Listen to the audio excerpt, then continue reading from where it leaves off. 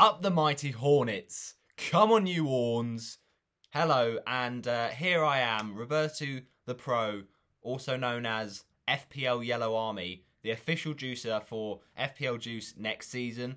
And I'm here to give a little intro into my Watford thoughts, and I'm going to try and just give you an insight into some players to look out for and some, you know, juicy gossip that's been happening over the last few days. So, yeah, hopefully you enjoy it, and here we go.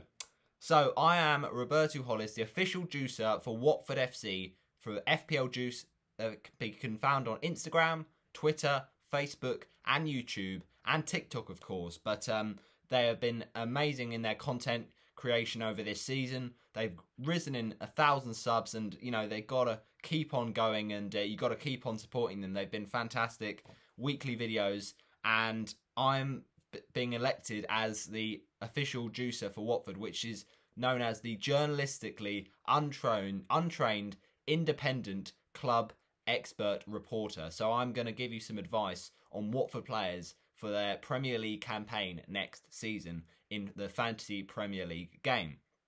But let me just tell you that first of all, what are my thoughts on Watford and how they finished last season? Well, the first thought to come to mind is jubilation, absolute jubilation. It was a great season. To bounce back at the first time of asking was a fantastic achievement. Not to mention the, you know, background of COVID, no fans, and, you know, so many financial troubles that relegation does give you. We had the parachute money, but it was always going to be a struggle. And the players did have a lot of bumps in the road, it's got to be said. You know, under Vladimir Ivic, we were too negative in our play. We were getting 1 0 wins, but we were always counting on a moment of magic, and we weren't winning the game comfortably. But Vla- uh, Vladimir Ivic gets sacked at the end of December, and it was a completely appalling uh, away 2 0 loss to Huddersfield. But who comes in? The man that no one's heard about, and fair play, a lot of Watford fans were sceptic about his appointment. But, you know, he was amazing and that is Xisco Munoz, the man who was at Dynamo Tbilisi, of course, a player um, at Valencia, a very good player, and he has just been unbelievable. You know, Vladimir Ivic is very strict and, you know, conservative and hard-working in his approach, but the complete opposite is that of Xisco Munoz. So smiley, such a lovely character, and just a perfect player to get his arm around uh, perfect manager to get his arm around the players, really encourage them and motivate them. And we we just never looked back really from that. We beat Norwich in his first game. That was an amazing result, uh, one uh, 0 from Ismaila Sarr.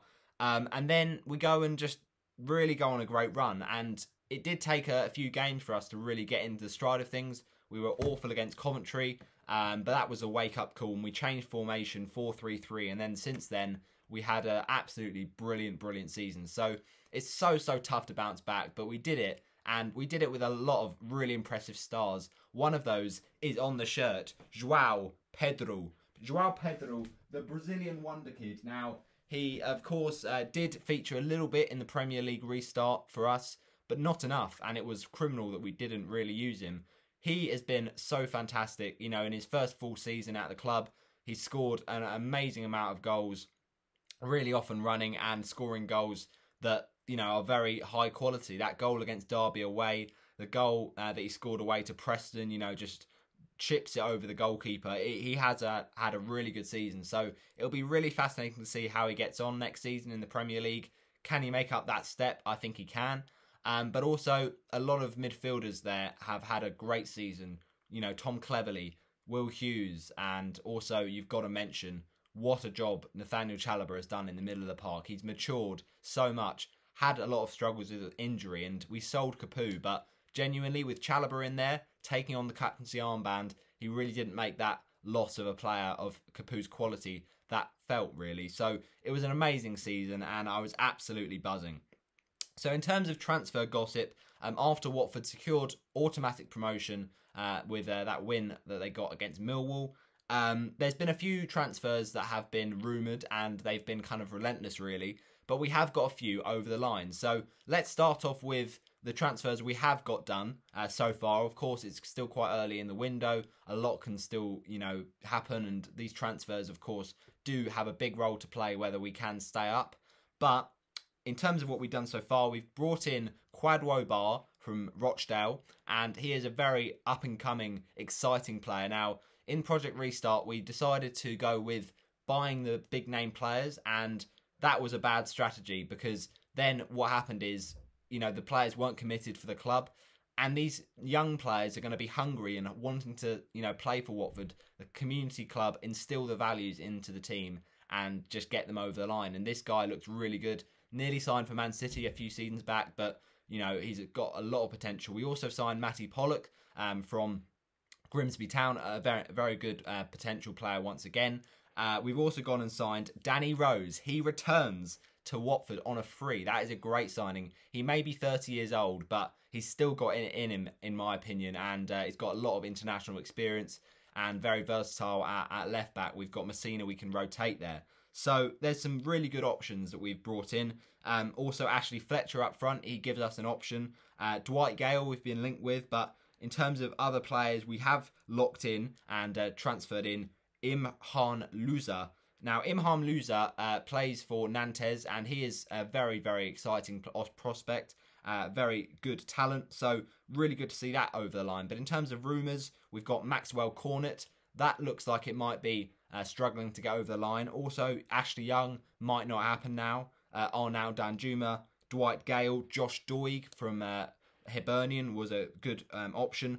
Jon Moncayola uh, was a, a, very interesting pick, the Spanish uh, player there. And we've also been linked with the wonder kid from Palmeiras, Danilo, as well as Ilias Chair from QPR um, and Rafael Santos Borré, uh, the striker for River Plate, along with uh, Jens Petter Hauge. So a lot of really exciting players linked with Watford. And to be honest, there's you know an endless list really. We've you know released Lazar, we've released uh, Carlos Sanchez, but it's a really exciting team that's developing right now. So if we can just get these next few transfers right, sign a big striker who's going to help the team score goals, then it could be really, really, really good. Um, so in terms of manager, it looks like Xisco Munoz has been locked in as the manager because he's currently doing a training course to have a pro license uh, and managing the Premier League. So that's really good to see. And the impact he made, that kind of felt deserved. He needs that opportunity uh, to have a go at it, really. Uh, and finally, the clubs at the Euros, we've got Ken Sema and Daniel Bachmann and they've performed pretty well so far, especially Daniel Bachmann in the lead up to the Euros against England. What a performance! But then he had a little bit of a shocker against North Macedonia. But he's still a great player, and he's going to do uh, a lot more impressive uh, goalkeeping for us in the Premier League. But Ken Sema's not got the chance yet, still yet to be substituted on, but I'm sure he will do his best. And finally, of course, follow FPL Juice on all the socials Facebook, Twitter, Instagram, YouTube. Uh, it is at FPL underscore juice. Um, and it is, of course, going to be every Tuesday night. The podcast on Tuesday, 8:30 p.m. on YouTube. Go give them a follow and tune in for their great content. Apologies, it was spent meant to be five minutes long, but you know I had to pack in a few things there. So thanks for watching, and I shall see you hopefully a lot more next season.